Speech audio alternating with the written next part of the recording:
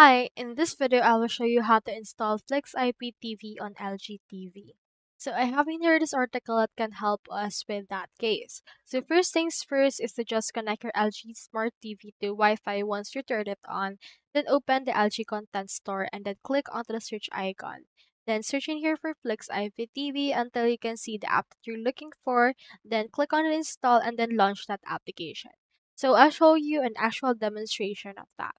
So just head over to the LG Content Store right and on the Content Store, click onto this apps option.